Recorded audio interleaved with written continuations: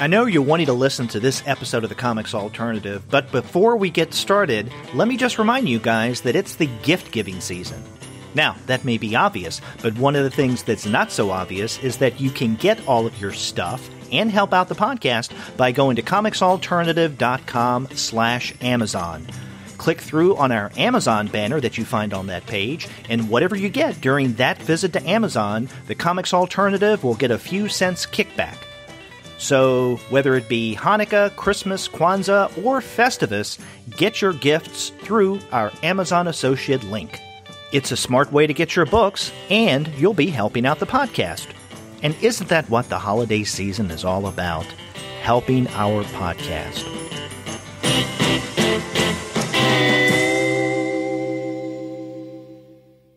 This is the Comics Alternative Euro Comics reviews of Piero and The First Man.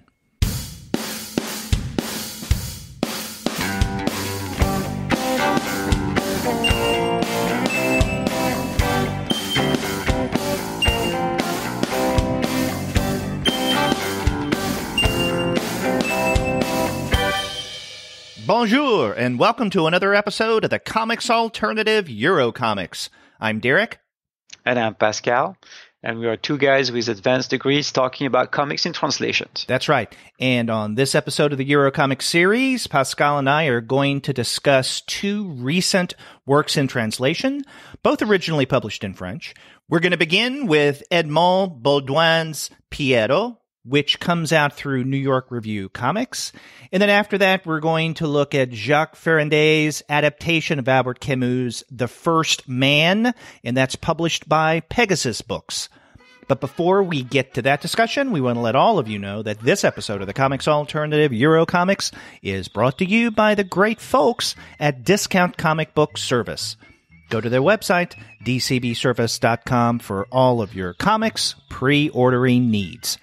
There, you're going to find all Marvel, DC, Image, and Dark Horse titles at 40% off the cover price if you pre order. For all of the other publishers, you'll find that those discounts can be anywhere from 20 to 35% off of the cover price. And every single month, you're going to find some incredible specials. Sometimes those specials could be as much as 45% off of the cover price, sometimes 50% off cover, but occasionally you can find discounts that are even more impressive than that. Yes, and if you look this month under New York Review Comics, you will find a solicitation for Letters to Survivors, a graphic novel by a famed French uh, artist called Gébé, um, who is one of the founders of Charlie Hebdo. Um, he's a very controversial figure in France, but a very interesting, interesting uh, artist. So this is a, um, a translation from a 1981 graphic novel he did which is contemporary of Dying Laughing, if you remember our mm-hmm. review of that book. Oh, yeah, that was a good one. Yeah, and they're actually in the same genre. And then, uh, as far as Pegasus is concerned, this month we have a solicitation for Beep Bop Barbarians, a hardcover graphic novel by Gary Phillips and Dale Berry. And uh, this is a, a, book focusing on uh, the U.S. Uh, in the in the 50s and the civil rights movements. It looks very interesting. So, two uh, very interesting books coming out from Pegasus and New York Review Comics on DCBS. That's right. At great discounts. Exactly. you have so many great discounts at Discount Comic Book Service, and not just comics in translation, but English language ones, of course, as well. So go to mm-hmm. dcbservice.com. They will take care of all of your comics pre ordering needs. And after you do get your texts there, please be sure to send them an email and tell them that Pascal and Derek sent you. Exactly. Pascal, officially, this is our November Eurocomics mm-hmm. episode. Late November. it's, yeah, very late November. It's late November into early December. And I know that both of us had a lot going on. And in fact, you had kind of a, I guess it was a somewhat surprise or quick trip down to Colombia in South America. That is correct. So I, I was there uh, meeting and working with uh, other colleagues teacher English teachers, giving them trainings. So uh, yeah, it was it took some time, but it was fun, and now I'm back. and actually checked out the comics uh, scene over there, and they have quite a bit going on. So it was exciting. That's cool. Now I, I know that at, at, one point I thought that we were going to get the November show in in November, but you were out of town, and mm-hmm. so we just thought we'd wait till you got back, and so this is November. But we will be back, and we hope on time in December with a December Eurocomic show. So you can look at it this way: you get two shows from us for the Eurocomic series in the month of December, the November one and the official December. Exactly.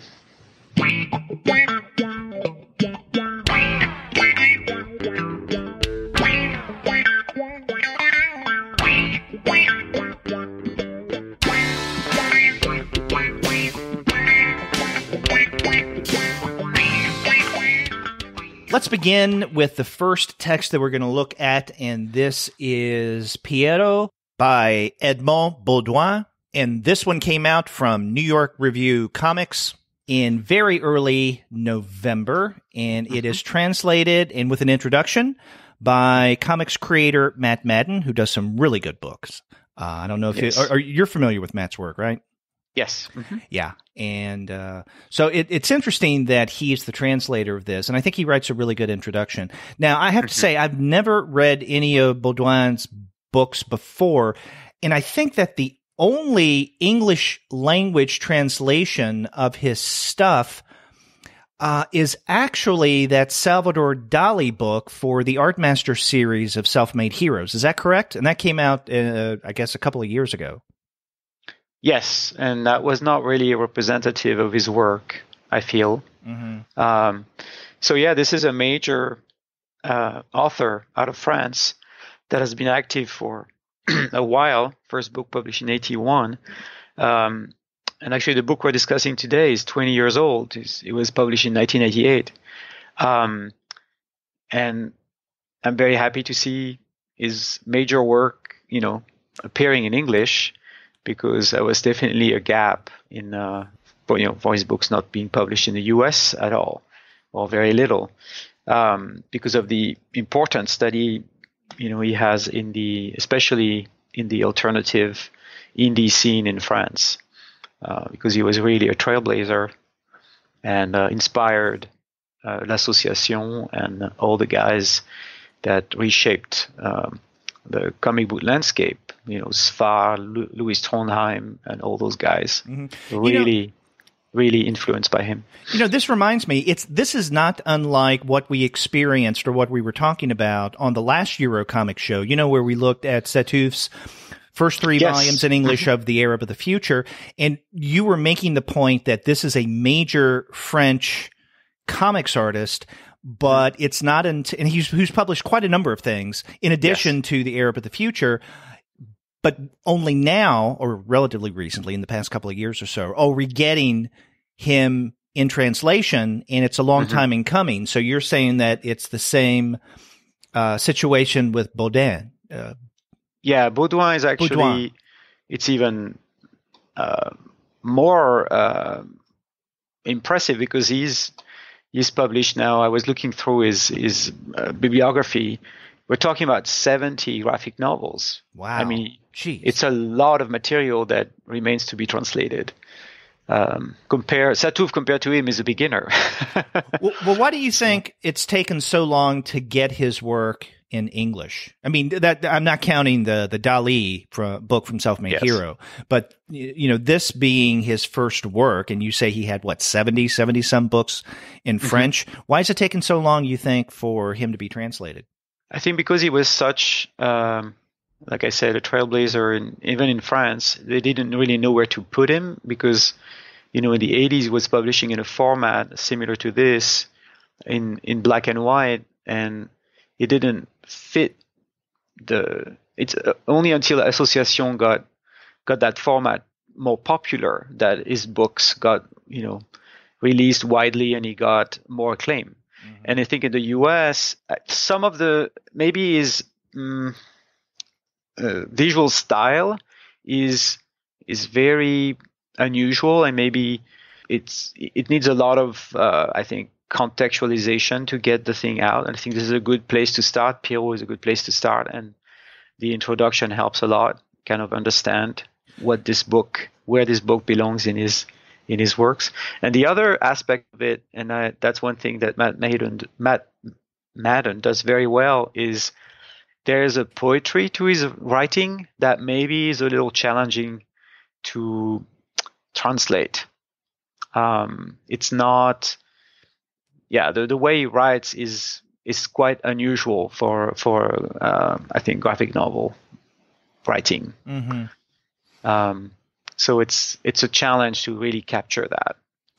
Another I think this edition, yeah. yeah, go ahead. Well, I say another thing that Madden points out in his introduction is that uh, Baudin is kind of situated between two generations because on the yes. one mm-hmm. hand he has been associated with older writers for instance like tardi that mm-hmm. are his contemporaries at yes. the same time he eventually became associated as you've mentioned with l'association and mm-hmm. you know a younger more experimental generation mm-hmm. of writers so Whereas I would think on the one hand that benefits him, on the other hand, it kind of puts him in kind of an in between place, which may not necessarily work to his benefit, depending, you know, because people don't know how to, to peg him, so to speak.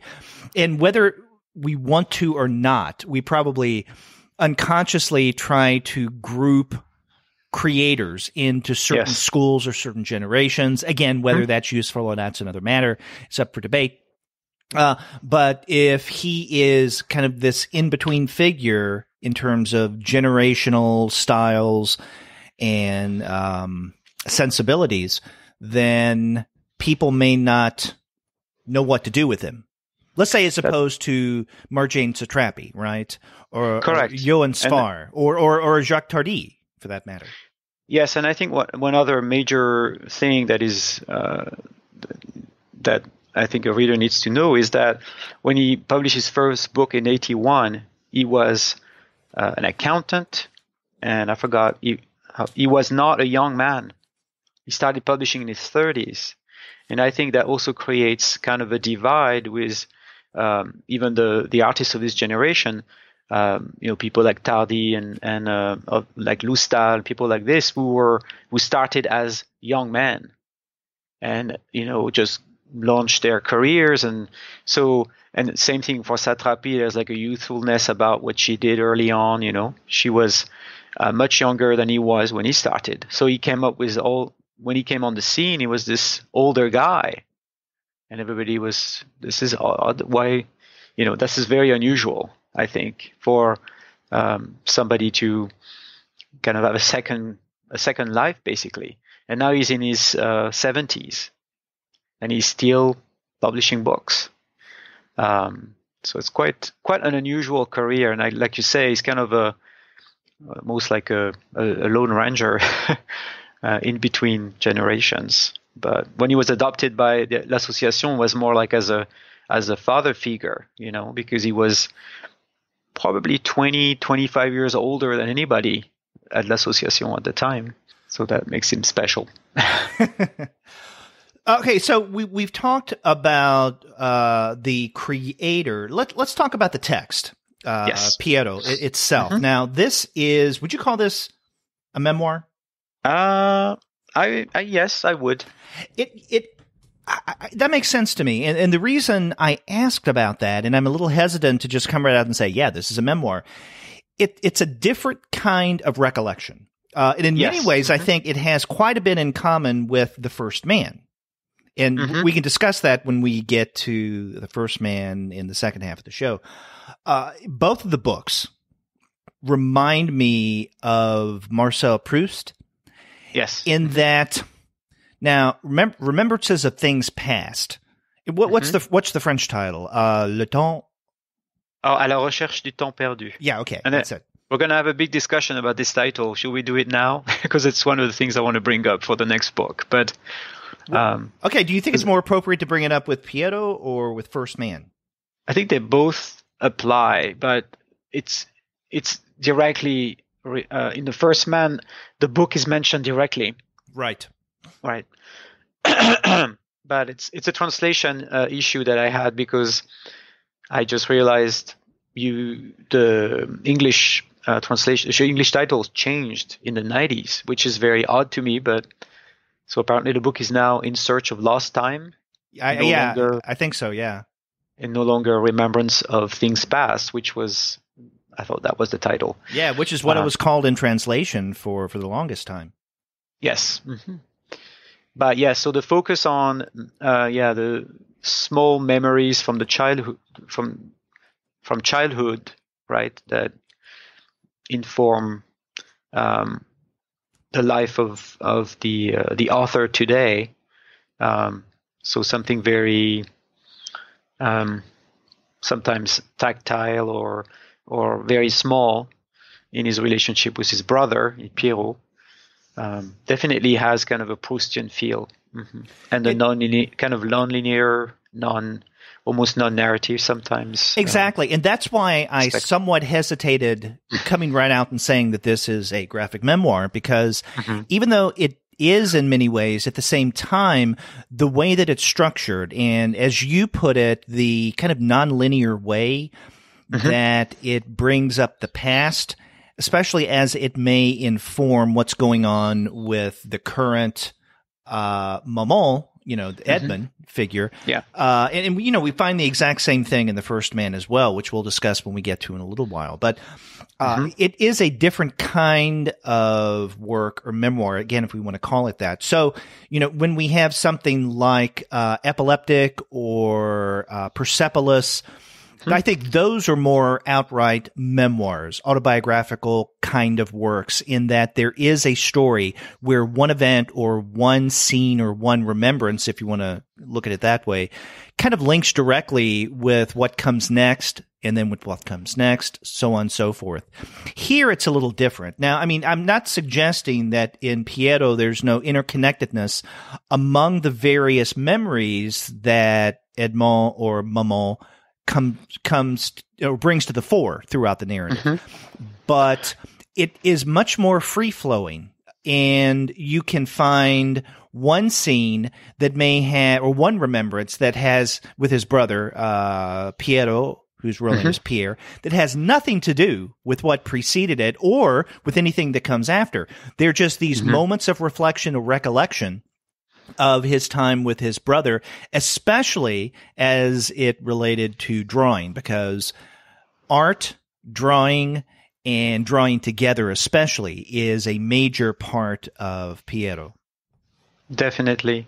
And I would add, um, there is, I think this is, if we say it's a memoir, it's almost a memoir about memory and, uh, and the way memory is organized. And, um, I, and it's, to me, there's a, it's maybe more s- similar in a way to works of the, uh, work on the memory that like Chris Ware or or Seth were are doing.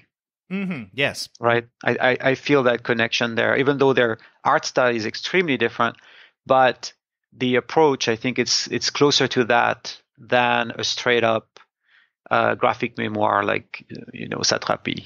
That's or even Sattouf actually. Mm-hmm. Yeah, exactly. You know, I want to come back to something that I brought up just a moment ago, and that is Mhm. the emphasis on art, because I think Yes. that's, you know, that is a major part of this book.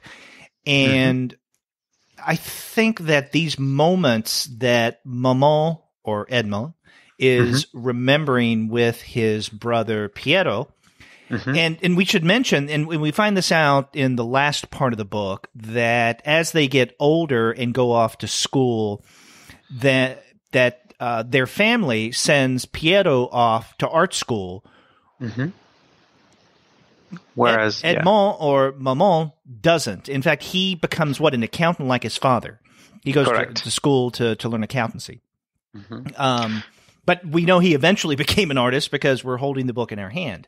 Uh, but uh, so and Pie- Piero did not. Yes, Mhm. Exactly. Yeah. In fact, he it, it, toward the end of the book, he just says that he's frustrated. He just wants to to quit, give up art. Yeah, he's, yeah, exactly. He says art school is only about talk and money. hmm Um, but I, I, yeah, and I think it's a the the book is clearly positioned those those two kids in a family that is not a poor family, but it's maybe you know lower middle class. They may they don't have access to a lot of things, so they're number one occupation is the cheapest kind of thing you can do is draw, right? Mm-hmm. Um, and that really drives their lives um, through school.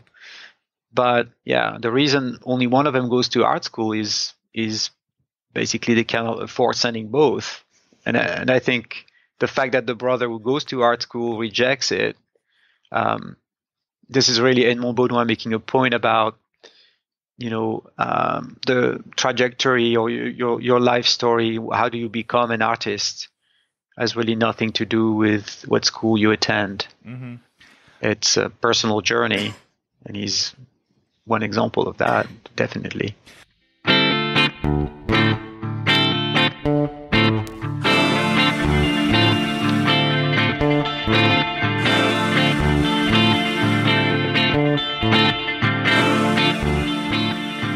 And we do get quite a bit of speculation on art, or if not speculation, then just a series of questioning about mm-hmm. what, you know, what is art, or uh, I guess Momon is the narrator. Of course, this is his um, his own story, his remembrances, is telling us that he was trying to make sense of some of the pictures and illustrations that mm-hmm. he was looking at when he was younger. And then there's one passage in the book, and this is on page 84 that really stood out to me. And this is not the first time that he mentions, let's say, the dots of a photograph, because at one yes. point he recalls looking at a photograph in a newspaper.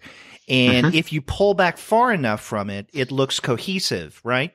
But if yes. you lean in and look very closely at the image, especially if you take a magnifying glass, he says, and you mm-hmm. look at the photograph or the image in the newspaper, then it becomes much less realistic and cohesive and more like a series of dots, mm-hmm. you know, of, of various densities. But anyway, on page 84, uh, he's this comes right after a recollection of him being in school and the kids wanting him to do illustrations for them. Mm-hmm.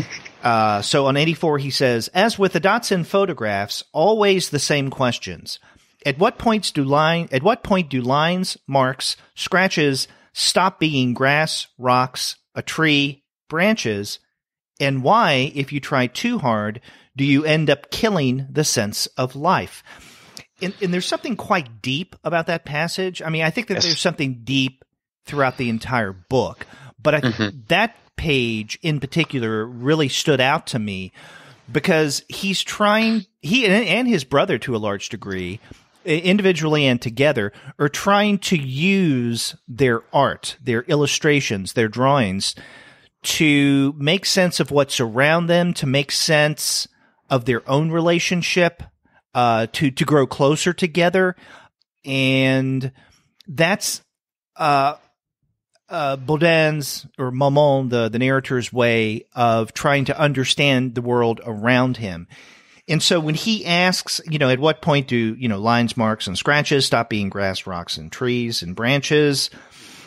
You know, again, it all depends on how you look at it, right? Because if you look too close, if you look too hard, as he says, then what had seemed to be grass, rocks, trees, and branches are no more or nothing more than points, dots, lines, scratches. And so I guess it has to deal with perspective as well. Yeah, and it's quite amazing that without any kind of art training, he was thinking um, about what it means to draw a line on a piece of paper and say it represents something or not uh, at a young age. There's another part that I felt very powerful, was very powerful, is when he um, says that his, his brother um, likes to draw the lines and contours of things, whereas he's focusing now on um, the the mass of blacks or um, those those scratches, more abstract things that when you bring them together, it forms a picture, mm-hmm. just like the offset printing. And he's changing his way of looking at things and his way of his approach when he's drawing, basically. Because um, drawing the the line, the line work, which is kind of the base of uh, comic book art, right? Mm-hmm. Um, and he goes beyond that, and he's looking at textures and um, there's a, a, page where we see uh, a street with cars that's rendered that way, where it's blotches uh, that form a car instead of lines. So he's already thinking um, in ways and looking at the world in in a different way through through his art, mm. which is a very kind of interesting um, process. I thought for for especially a you know a very young, um, very young, well, it's not a young boy, young adult, I guess, and the two perspectives of the brothers. Like I, there's one question I wanted to ask you about the book. The book is called Piero, right? Mm-hmm. Do you feel that the book is about Piero or about Edmond? Oh, I think it's definitely about Edmond. Um, right.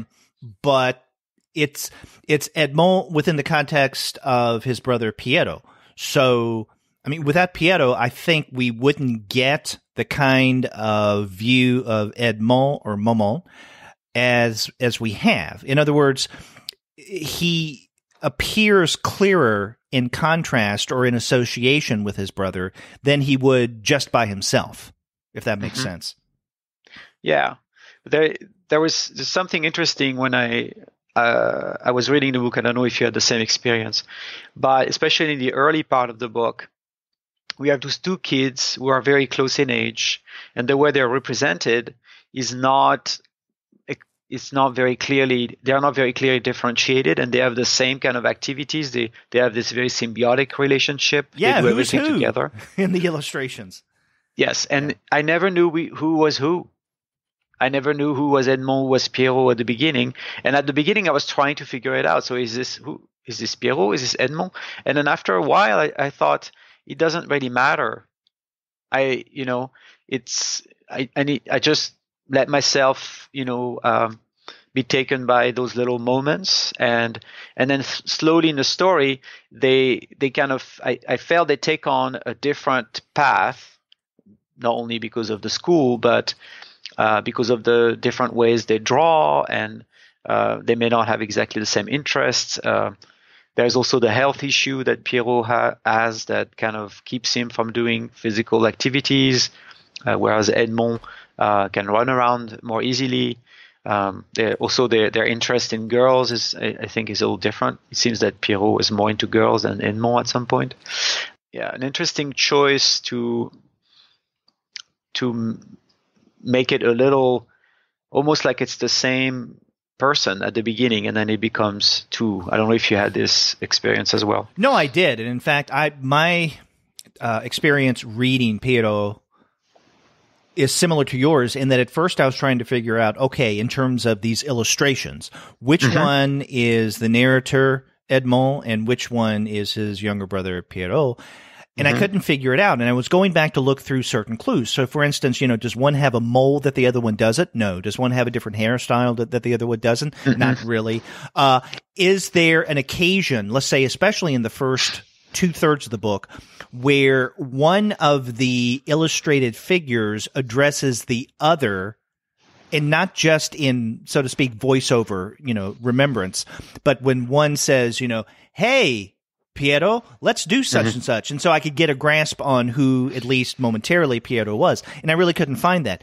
But no. like you, I kind of gave up after a while because I thought, you know, one of the major points, at least in the first two thirds of the book, or the first half especially, is the fact that these two brothers are inseparable and that yes. their life together basically is what's defining the narrative and, mm-hmm. and, that really that really struck me, and I think that's one of the reasons why we don't have a clear distinction, uh, visual distinction between the two brothers because they are inseparable. And this is interesting. The, the, another passage that really stood out to me, I think, kind of underscores this. And this is on page 39. And for, I guess, up until this point, one of the things that uh, Baudin has uh, done is he's emphasized the two of them together over and over again. Uh, they go outside, they wander in the woods together. They sit mm-hmm. down and they draw together. He even mentions a few pages before 39 about how, you know, as you mentioned, they're lower middle class, they don't have much money, they share a bed. So they share a bed together. And not only that, it seems the way that Ed Edmond uh, describes it, they even dream together. Uh, because we have, I think, the first of what is, I think, two scenes, if I'm not mistaken, on page 35, 36, and 37, where the two of them are flying because they're in bed together and it's almost like they're dreaming together and they're flying over the earth. They're holding hands and making observations and having a good time. But then on page 39, okay, they, uh, Edmond recalls one of the things that they used to do is to go to a a place in the village and play with the local clay that they called red dirt. And this was clay that really didn't have any rocks in it. So it was like, you know, pure clay that they could make figures out of. And uh, Edmond says on page 39, we would use the red dirt to make tanks, guns, cows, sheep, and little men. Then we would destroy them.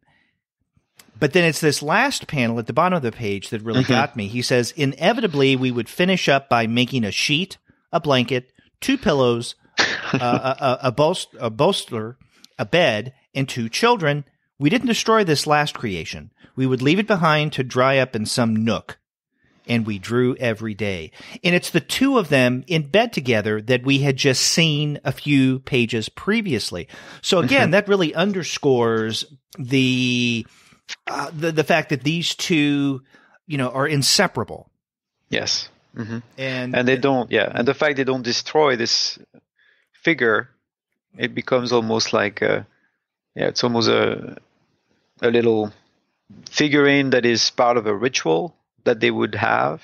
Mhm. Like they self represent and hide it somewhere. It's like their secret or something like that. But yeah, it's a powerful detail about their relationship. And I was thinking about uh, another moment in the book where um, there is it almost like they become aware that they are they are two different uh, people. I felt, or that their identities are independent, and that's page ninety three, where um, they are older, they're teenagers, and um, a girl asks uh, Edmond, "You are Pierre's brothers, right?" And he says, "Whose brother?" oh yeah, Pierre. And then she says, "Can you ask him to draw, you know, for a drawing?" And then the next panel, we see they're actually um, it's a long shot. They're very far away on the horizon. The two brothers talking, and then Edmond says, I, "Today I found out your name is Pierre." And uh, Pierre says, "What about you? Are you Momon or Edmond?" and he says, "Yeah, but Momon is lame and Piero is nice." Say, "Stop it, Momon isn't lame. Anyway, I could never call you anything else." But then there's this panel where they are together, and then there's a panel where you see only Piero, I believe, because and and it says it was it was the age of the age of the mopeds, and there's a big thing about having a moped and riding moped around, but they only have one moped for two. Um, but I, I felt that at this moment there's kind of a a first step in you know we're kind of taking slightly different path, and we we kind of abandon our not really completely abandoned, but there's a change in their the way they are named and the way people relate to them as two different two different uh, young men, I guess. Mhm. Uh, so it was kind of an interesting. Uh, it's an interesting pass- passage after the one you just described, where they were like so close, and then there's this moment where the names shift. So very interesting. Yeah, and you know, speaking of the last part of this book, there's something I don't want to say sad, but mm-hmm. rather muted or somber the way mm-hmm. that this narrative or this recollection or series of recollections ends because you know, as as we mentioned, Piero, who had gone on to art school and seemed to be in many ways kind of a point of hope for mm-hmm. his older brother Momon, uh, decides to quit art school. And and then uh, Edmond or Momon says, if Piero was quitting, and this is, begins on page one twenty one, who was mm-hmm. going to keep dreaming? Maybe Piero meant it to happen this way. Maybe he wanted to pass something along to me, like a relay. My brother's ears are a little pointy, like a Martian's, and there's a scene from their their Martian fantasy that we see at the beginning of the book. When I mm-hmm. ask him now, he tells me that no, he's not a Martian, just an interior designer. That's his job.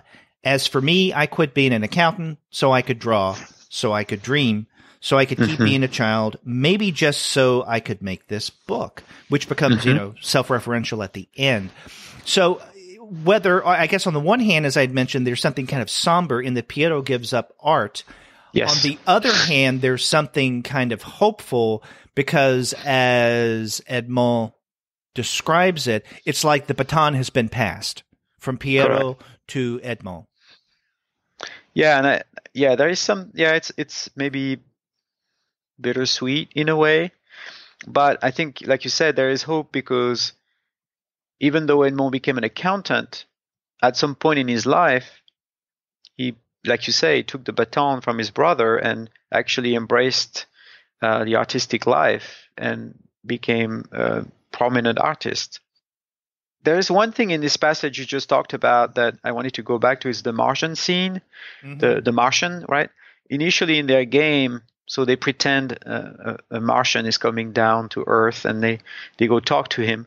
And I love that little detail where they they are rushing because they they imagine seeing the the spacecraft um, crashing, and they they rush towards it, but they say, "Let's first get our sketchbooks," which was kind of interesting, so they can represent what they see in their mind. But after the encounter with the Martian, who, who is trying to to get uh, fuel for his spacecraft, and the fuel turns to be turns out to be dreams, and the kid who is there with the Martian, I f- and I forgot we, if it's Piero and Edmond. That's one of my problems. I don't know exactly. Um, gives him dreams so he can fly away in his spacecraft. But before he leaves, he shoots um, the child in the head with his special ray gun that wipes out memory Mm-hmm. and we see that scene again in one page on page 122 um, and i was wondering about the meaning of this in terms of uh, if he's saying that the martian is Piero right he's saying that he's got my brother's ears are a little pointy like a martian Mm-hmm. um, somebody between the two has lost something lost the the will to be an artist and uh, you know he's giving up. Um, but for a part of his life edmond forgot to be an artist as well right? Right. until something happened and he and we don't have that part of the story as an adult where he decided to actually become an artist. But I I think it was interesting that he brought this this he, he actually redrew that scene with the ray gun like something was lost at this point you know Mm-hmm. it's kind of the their game their childhood game was actually a meaningful metaphor for what was happening so i thought that was, was an interesting touch i don't know how you looked at this part but Yeah, no, no. I, I, I read the, the Martian scene, the early Martian scene, uh, in similar ways to you. yeah it's a, and i think that's part of uh, kind of the poetry and the subtlety of the work is uh, bringing meaning to child play in, in a very important kind of making childhood as the center of what makes a person. And it's very interesting that one of the quotes that is um, listed and i think it's in the introduction of the first man that's not a segue but kind of that uh, i think it's uh, if i can remember it says it's it's actually in the intro. Oh, in uh, Madden's intro. yes or the scholar there's a right it's a camus scholar. There's there are two. No it's actually in the intro to the first man i'm sorry. But i felt it was meaningful for the other book. It's like those books are talking to each other in a way. Uh, I mean, that you know that is interesting because I, I I didn't plan it this way. I don't know if you had something in mind that I didn't know about, but no we had we had we've been wanting to discuss Piero for a while, and then we got a copy of the graphic adaptation of Camus' The First Man, and thought, oh well, let's let's discuss that as well. Uh, and I didn't know how they paired until I actually read both of them, and I thought, oh my god, I mean, there's a lot of similarity between the two. yes and i found a quote Okay. So it's the ch- the child is the father of the man, Oh, uh, Wordsworth. Yes. So it's mentioned in in uh, in the First Man book, which applies very well to it. And I thought this also works for for um, for Piero, right? Mm-hmm. So that was my segue. Okay.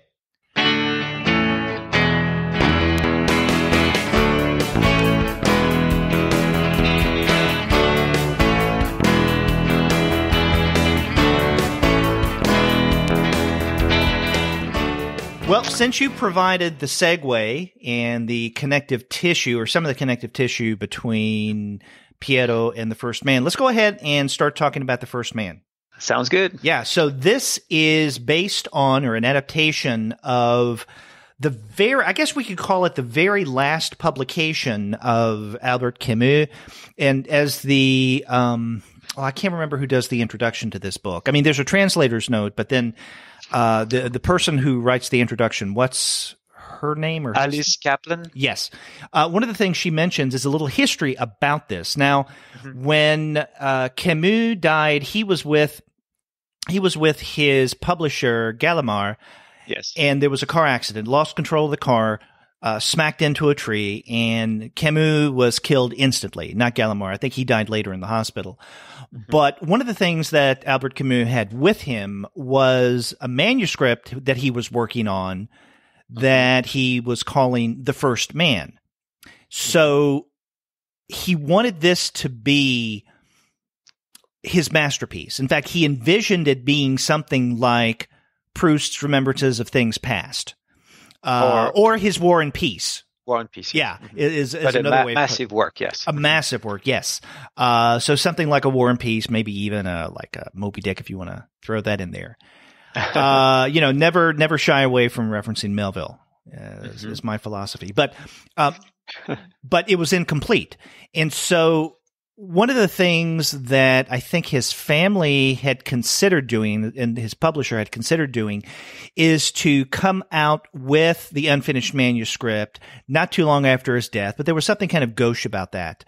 Um, so it wasn't until when was it? The 1980s, 90s? I can't remember. It's the 90, I think 1994. that the, It's the, pretty late. the yeah. daughter Mhm. uh, gathered everything, uh, had the manuscript cleaned up because apparently Camus was uh, not the neatest of writers when it came to drafts.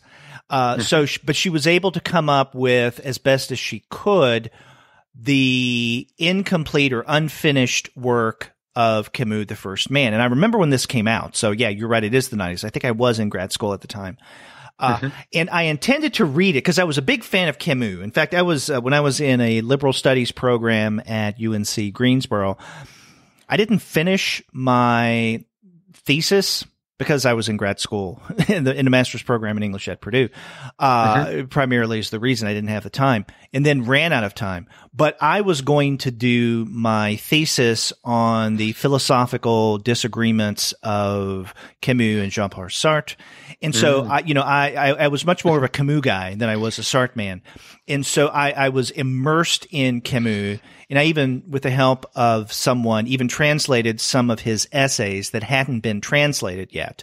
But I, I'd intended to read The First Man when it came out in the 90s, but I never got around to it. Now, have you read Camus' The First Man, the incomplete uh, masterpiece, Nope. so to speak? no, no. I haven't either, and uh, I, I wish I had before I read this, but I don't think it's necessary. It's not like you need to have read the prose version of the First Man before you read this.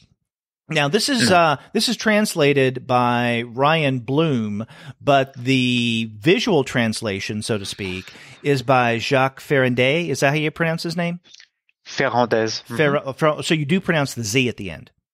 Yes. Okay. Uh, yeah, this is kind of a southern Okay. name. So when we get to the south of France, uh, pronunciation is closer to Spanish. It's actually probably a Spanish name. Okay. Ferrandez or something. Ferrandez. Okay, Ferrandez. Yeah. And, it's not Fernandez, it's Ferrandez, which yeah, Fernandez. it's a little confusing. A lot of people call him Fernandez by mistake because that's Yeah. a more common last name. But Yeah. Uh, this And, came uh, out in early October from Pegasus Books. And Mm-hmm. one of the things that's notable about this is that this is the second Ferrandez book adapting a Camus narrative that has come out from mm-hmm. Pegasus Books. Now, in 2016, uh, Ferrandez published or came out with an adaptation of The Stranger. And in fact, mm-hmm. on the July 13th episode of the Comics Alternative, so a little over two years ago, Gene and I discussed this book, The Stranger, mm-hmm. which is really good. And I find it interesting that after The Stranger, the text that Ferrandez chose to adapt is The First Man. I would have thought that it would be La Peste or the Plague. Uh, yeah, or Um, La Chute or something. Yes. or The Fall. Yeah, well, La Chute or the Fall. I mean, I would love to see an adaptation of that, but here's the problem with La Chute is that La Chute or the Fall is narrated in some ways almost in the second person, but not Yes. quite. It, it's a first person narration, and the speaker is addressing an unknown, unacknowledged, or at least unnamed um, listener. And so part of the, I, I, I guess the project of La Chute is that, oh God, and I can't remember who the narrator is, who, who, what his name is, but he is in many ways kind of confessing to his listener Yes. some issues or things that had gone on in the past. The most significant of which is his hesitancy of helping someone that he almost knew was going to throw herself off, off the bridge and probably commit suicide uh, at night as he's passing her. And he doesn't do anything about it. And he's haunted by that moment for the rest of his life. And so that's one of the things that he's guilty of. And that's considered in many ways his fall. That's the title. But he tries to talk to his listener, and they're at a bar, I believe it is, in mm-hmm. such a way that he tries to get his listener implicated through the act of listening. It's a fascinating text. And mm-hmm. That's one of the reasons the way that it's narrated to an unnamed uh, listener that in many ways becomes you, the reader, right? Uh, Yes. because you as a reader can almost become implicated in the narrator's, so to speak, crime. Uh, the way that it's written. I don't know how successful that could be adapted into comics form. Maybe it can, but I think it would be much more of a challenge. So it makes more sense that Ferrandez would adapt the first man before La Chute. Uh, but the, but the, but the plague, I think, or La Peste, is a much more straightforward, it is probably Camus' most straightforward narrative of all that he'd written. Uh, maybe with the exception of some of the short stories. Yeah, and I, I don't know. I, we mentioned this before uh, when we were discussing um, the David B. book, um, uh, Hasib and the Queen of the Serpents. Uh, those two books, actually, those three books, The Stranger, The First Man, and the uh, David B. book, are part of the same collection in France. In the it's a Gallimard uh, collection, uh, and the purpose of the collection is to adapt uh, literary works. So they also they actually have a Huck Finn, uh, they have uh, Little Prince, a lot of uh, French uh, literature as well, um, and the audience is probably younger readers, maybe not like very young, but maybe teenage to uh, to like uh, yeah high school to early university maybe. That there's also a Great Gatsby actually. Uh, so I don't know to which extent like I don't know exactly how Ferrandez uh, approach you know those are because if it's part of a collection they probably have restrictions on what part of the catalog they they can let you adapt. I don't know exactly what the decisions are there, but um, yeah, it's almost alpha and omega of of the Camus work in a way, and he's doing. Yeah, starting And- with the first, the stranger, and then the very last, the first man.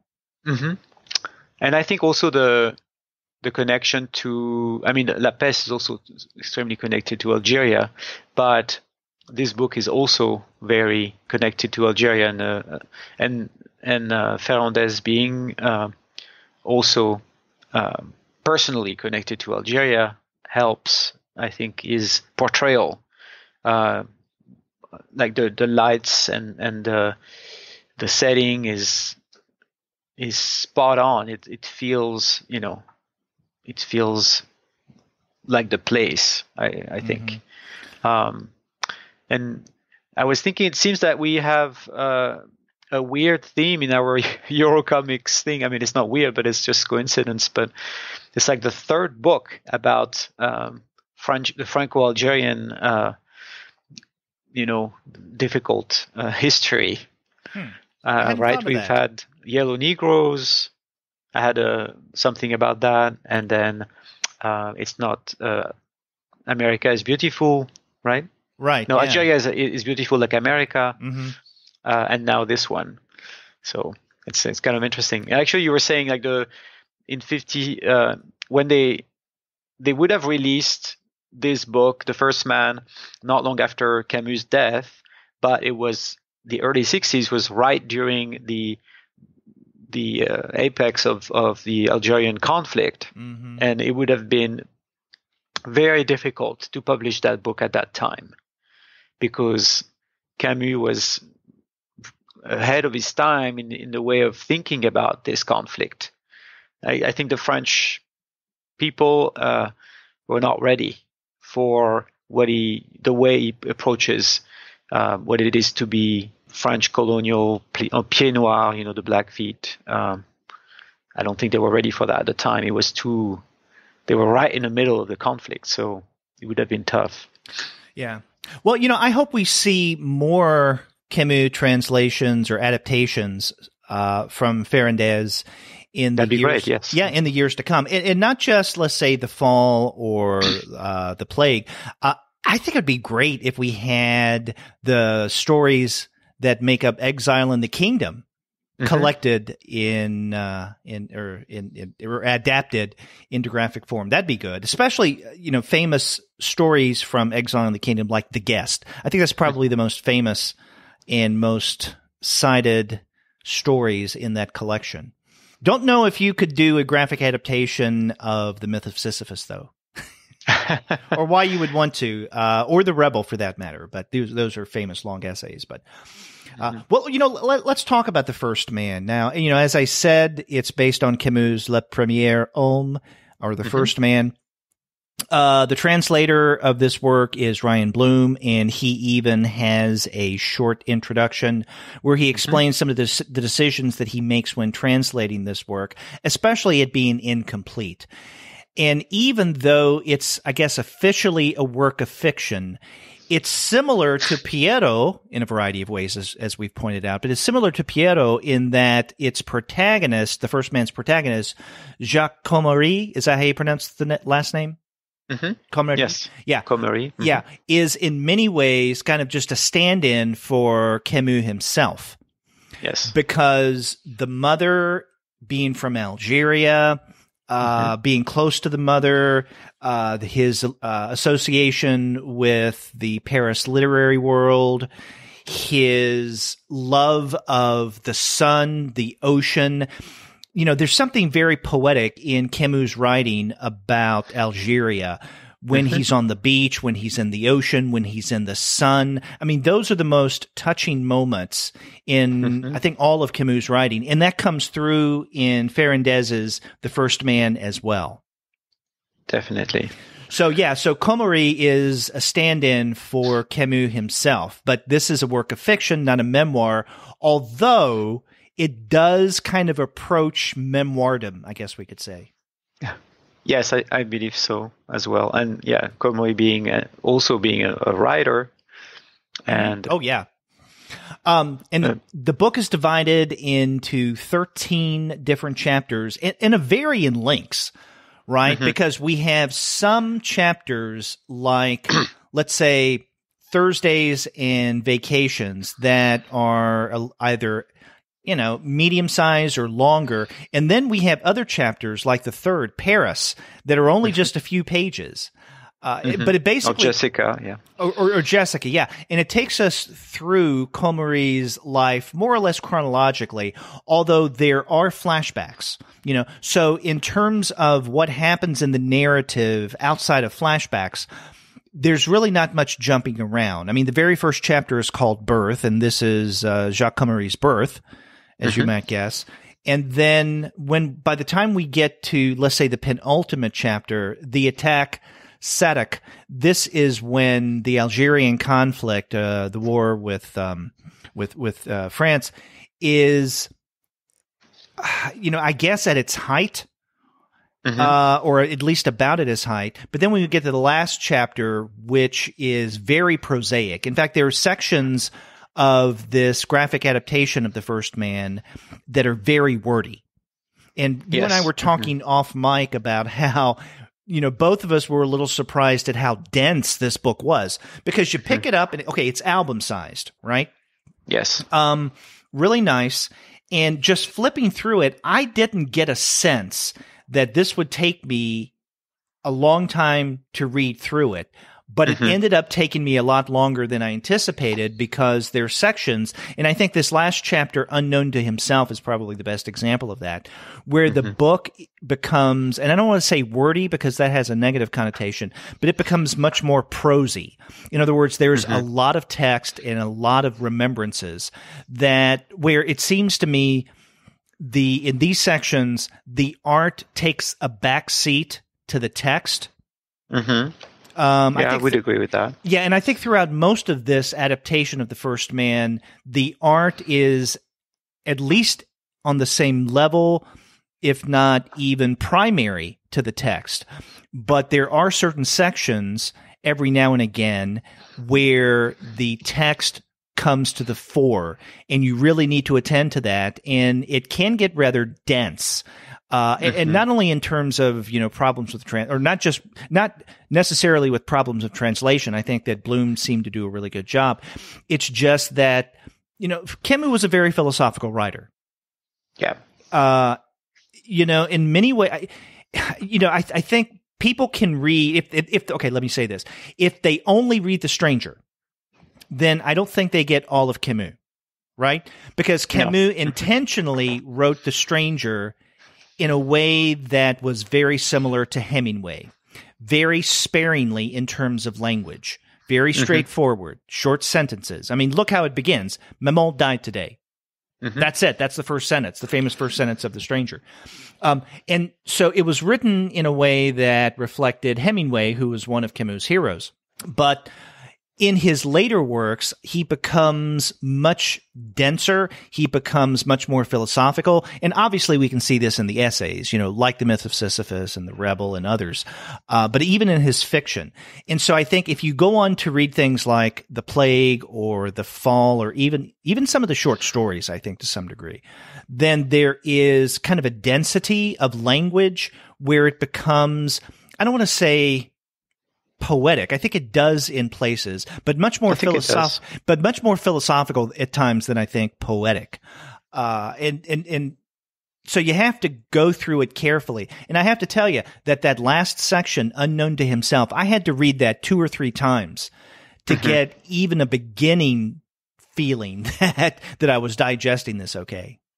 Yeah. And I think, uh, it's it's what's interesting and it's mentioned in the the intro but also in the actual book that um, what he was trying to do and, and the way his, his writing styles evolved or maybe the, what he was uh, wanting to do with this big project was actually channeling more Proust than he was channeling um, Hemingway in terms of his syntax and the length of his sentences.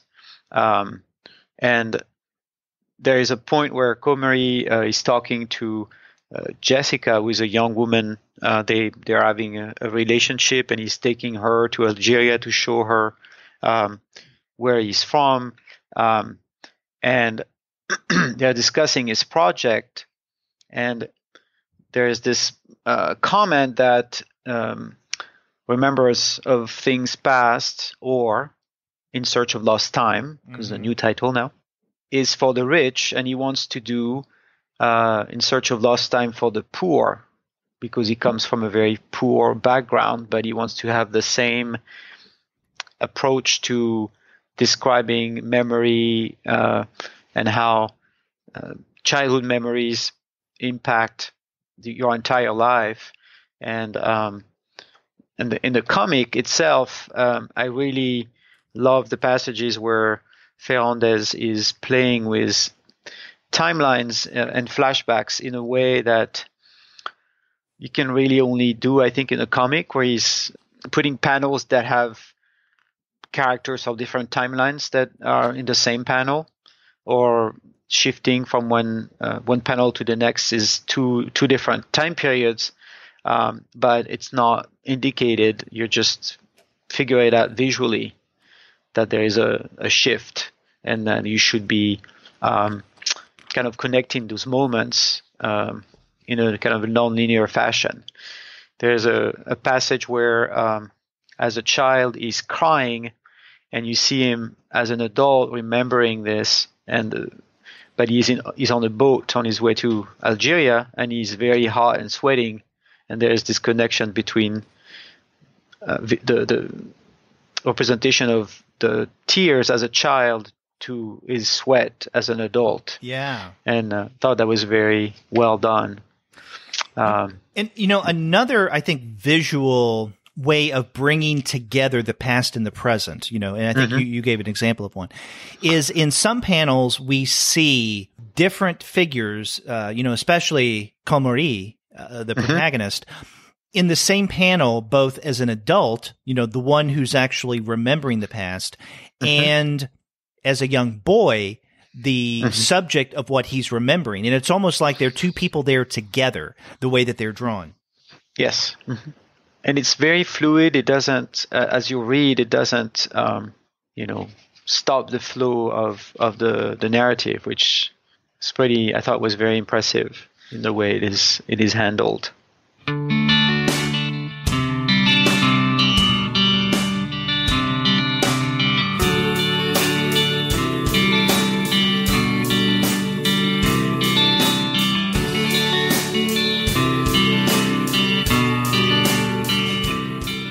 You know, there's and, one. Oh, go ahead. Go ahead. Go ahead. No, no, I, I, there's something I wanted to ask you since yeah. we're talking mm-hmm. about the art. Now, one of the things that the woman who wrote the introduction, Alice Kaplan, states mm-hmm. at one point, it, she references this, you know, very brief two page chapter, the third one, Paris, and she says that and this is in the penultimate paragraph of her intro. She says, Not everything is so serious. Far from it. With a wink to his readers, Ferrandez imagines a cocktail party at Gallimard where Jacques Cormery, the fictional writer, finds himself next to Jean Paul Sartre, Andre Malraux, Gaston Gallimard, and Camus himself. Okay, so I turn now to those, that two page chapter. This is 26 and page 27.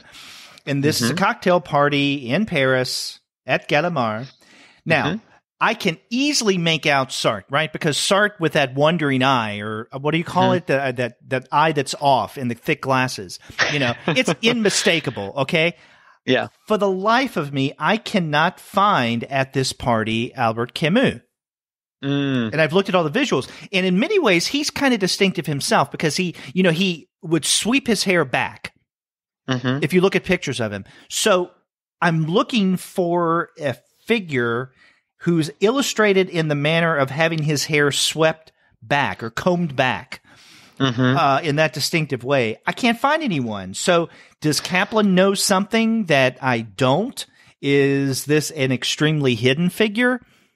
Could you find the Camus illustration? Well, yeah, it's it's not exactly obvious, but I was thinking it might be um, on page 27, the last strip, there is um, the middle uh, panel.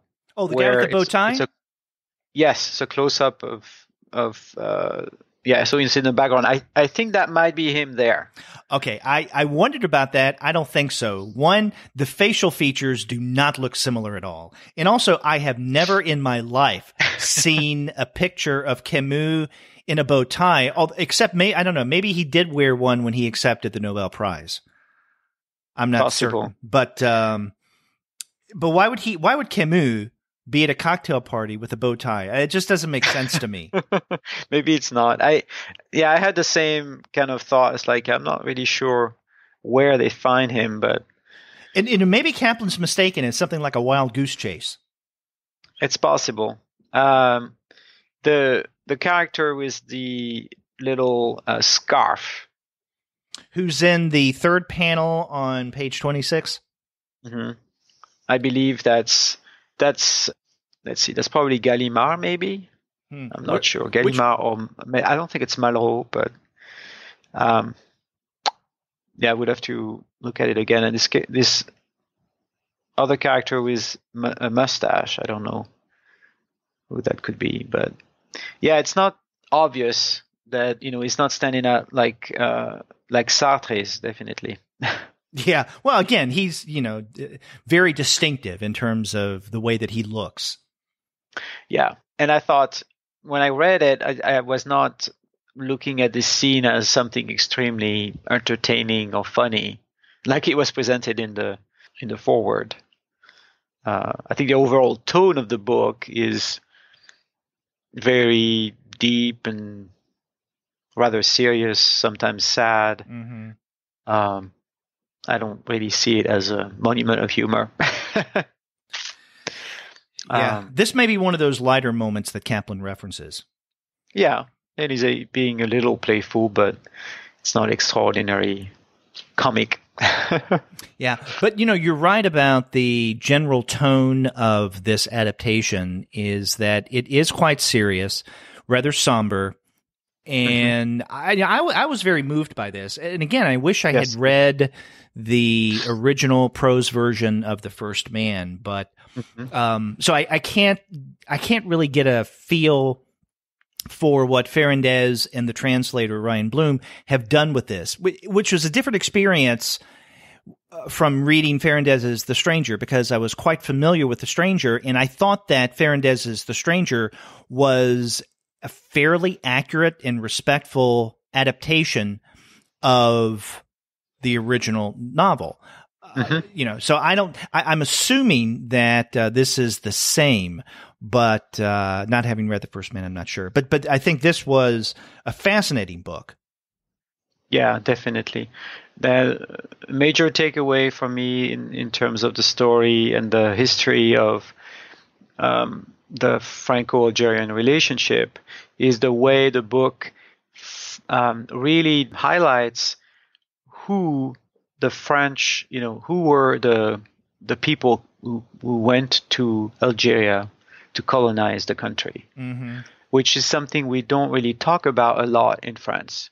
To identify these people and what were their motivations and where were they coming from, uh, what was their experience in France before they actually got to Algeria. Uh, we kind of describe them, you know, we say, okay, so we have the colonial people, and then they're, you know, they they had um, the next generation, and then we got what we call pied noir, black feet, right? So the the French uh, descendant of colonials that you know lived all their life in Algeria.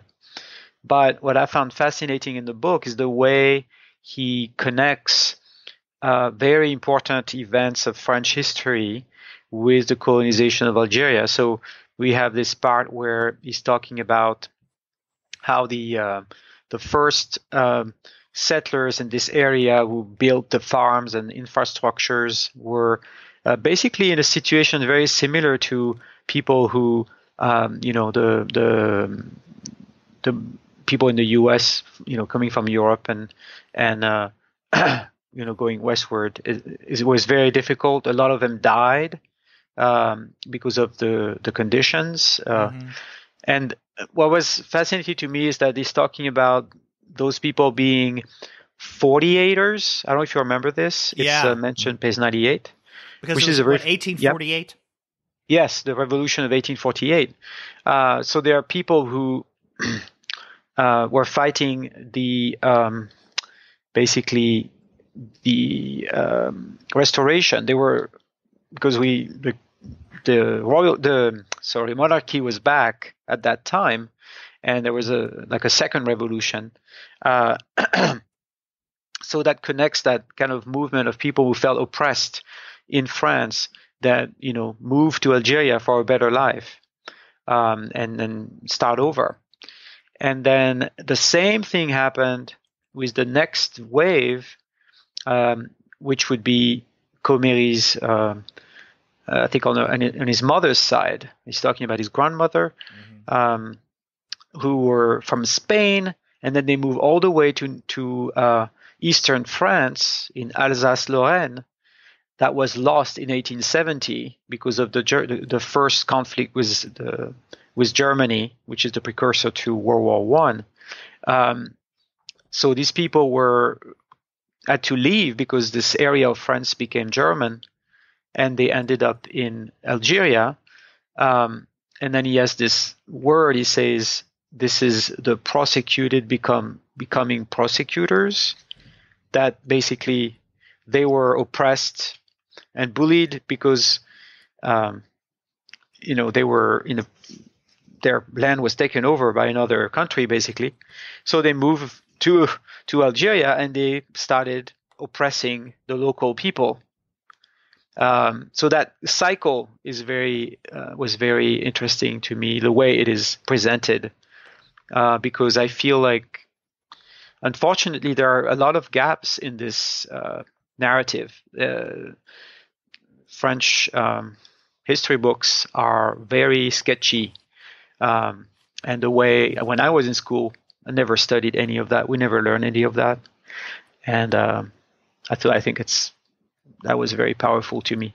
It's it's kind of like the South's relationship with African Americans, right? Uh, until yes. relatively recently, you know the the true history of the South, especially what many people in the South still call the you know the war against no, Northern aggression, was rather watered down in history books. Mm-hmm. Yeah, because you know of, of, a resistance to confront the past.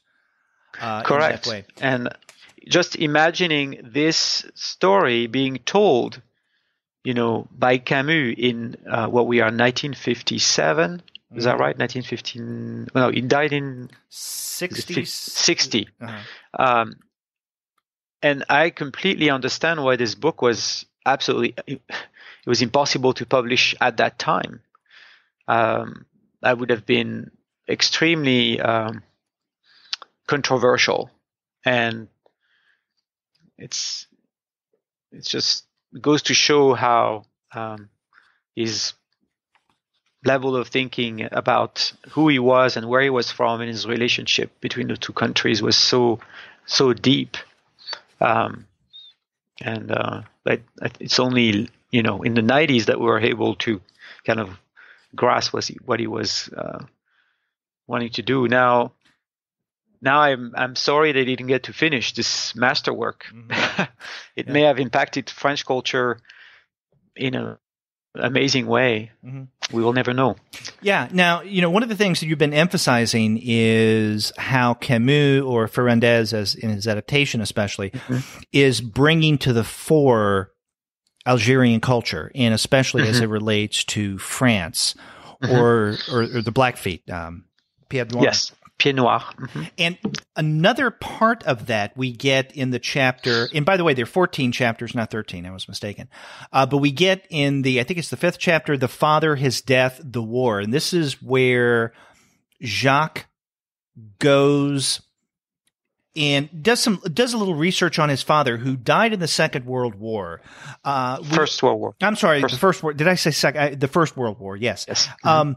But we learn a little bit about, and I'm not sure how you pronounce it. Uh, Zouave. Zouave. Les Zouaves. Zouave. Yeah. Yeah. yeah. Mm-hmm. Uh, so, and, and these are Algerian soldiers who fought, and not just in the First World War, but in other wars, and they had they were used in a unique way many times as the first wave of a particular attack but they also Cannon fodder yeah. yes in many ways um, but they also had a quite unique way of dressing their uniform mm-hmm. yeah they were wearing uh, blue and red and they were like moving targets basically for the germans mm-hmm and uh, yeah, they were sent to the slaughter. Um, and it's a very odd thing when you think about it because they're French people who moved to uh, Algeria. They were local people. They were, you know, fighting for France and being basically used, um, sent to their death. Yeah. Mm-hmm. There's a very powerful image um, uh, when they describe this story. You see a row of soldier, and the closer they get to the front, they become uh, like Walking Dead zombies, but uh, like skeletons. Mm-hmm. I forgot what page that is on, but uh, visually very um, telling of uh, of what they were, what the story is telling. Yeah, this is another um, dark chapter that is brought forward. Uh, yeah. And then, as I mentioned earlier, the book does end on quite not only a prosy, but philosophical note.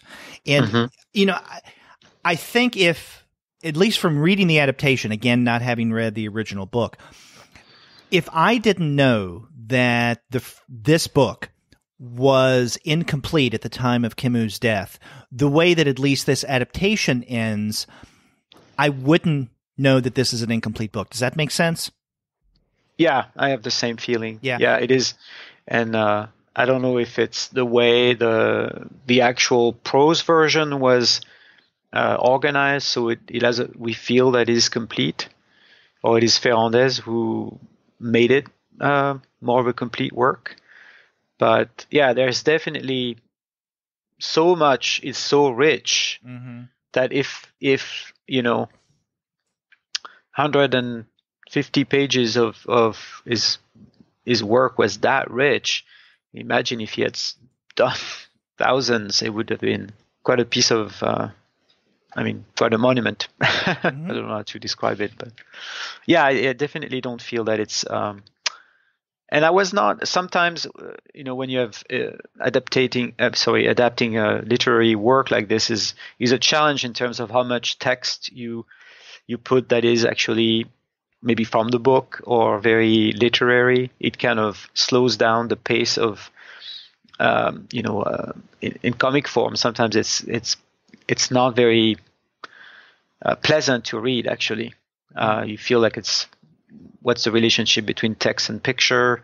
But I don't. I, I, at no point in this book I felt that way. I just felt it was denser, to, but I still felt it worked um, as a as an adaptation. I didn't feel it was too much. I thought it's it's at the end, so it's kind of a conclusion. Um, so it didn't bother me when I was reading the book that we suddenly have all these text. Mm.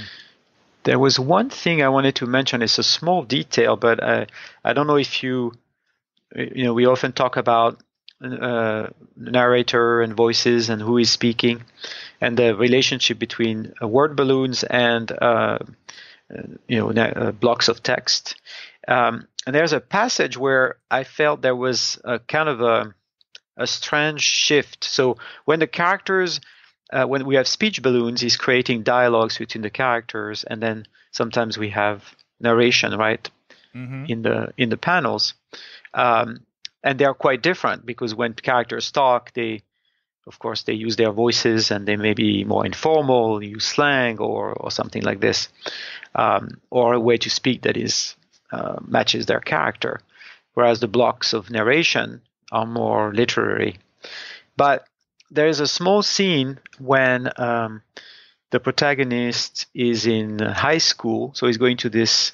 He got a scholarship um, thanks to his relationship with Monsieur Bernard, his his, uh, his teacher, uh, mm-hmm. elementary school teacher, who kind of saw his talent and wanted to help him get a better education. Convince his grandmother that he had to go to high school and not take a uh, apprenticeship um, which meant no money for the family for during the, the time he was he's going to be in high school. Um, so they are um, on the way to the high school, on the way to school. You remember that scene where they constantly uh, make fun of uh, um, a man who is bald is selling things in the street, oh, yeah. and they call him right fly uh. So they call fly steak rink um, or mosquito velodrome, right? Mm-hmm. because he has no hair. So like insects will use his, his head as a as a landing pad. Uh, so they do it regularly, and one day when they do that, the man doesn't react. Usually he screams at them, but he has two other um, boys that he paid uh, to come and beat him up, and they're actually two local. They are probably uh, Arab uh, kids, so they are beat, beating up those two. Uh, you know, French kids who are making fun of, of this of this man. So there is this scene where they, they are running around and then they hop on uh, a streetcar to escape, and they are talking, and um, so uh, Jacques is talking to his friend, and he says uh, he paid them to attack us, you know, and uh, and they go, "We'll get him back. We'll rans- ransack his store and break his face." So they're pretty upset. And then there's a caption that says, "The next day we went on uh, our way." And the then the two you see the two characters talking, and the the um, the speech balloon says we chickened out, past tense, commenting on what's happening. So I was thrown off. I say, "What's happening?" And then it goes on. After all, we were in the wrong. So one of the characters says that, and then uh, Jack's friend and Jack says, "We were in the wrong, and we were afraid of being beaten up." And then we move to present day. We see him as an adult. He continues saying this later, on I'm page in myself. 145. Hmm? Yeah, page 145. Yeah, mm-hmm. sorry. Yeah, 145. And then he, he continues and says, Later, I made myself consider all of this again when I truly come to understand that men pretend to do what's right, but bow only in the face of force. And this is a strong point he's making about kind of his view and philosophy. But there, I, I was thrown off by this sequence in terms of uh, the the narrative voice. Did you have the same for this particular passage? Yeah. Mm-hmm. What that last panel where the present day Jacques says, "Later, I made myself consider, you know, this." Again. Well, what happened before? Because you see the past Jack, right, mm-hmm. speaking as if he's the narrator of his own story in the simple past, and commenting on it, right? Why would they still sit, you know, be standing in the street looking at um, that bold person and say, "We chickened out." They wouldn't say that, right? That's not dialogue; it's comment. That's a good point. You know, I don't know if I felt the same way when I read this originally, but it does make sense now that you say this. I mean, would these two young boys be admitting that they chickened out and turn almost philosophical? You mm-hmm. know, it says, you know, we were wrong, or, or, or at least feel some kind of shame and admit it one to the other. They may feel it, but would they speak about it? Yes, exactly. So I feel like the voice of present day uh, Jacques is just present here in the speech balloons. And I was wondering why at this particular time this is happening. Maybe, maybe to make us pay attention to his point. It's kind of an interesting little moment for me when I was reading. So it's just to show there's, I think there's a lot of um, passages like this that are kind of subtle in what Ferrandez is, is doing. That's uh, makes that book, I think, very interesting and complex.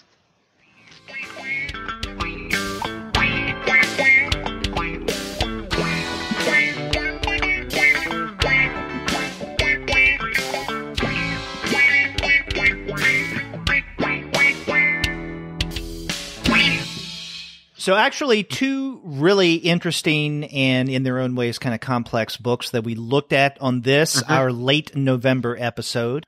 We started off with Edmond Baudoin's Piero, which came out in early November from New York Review Comics.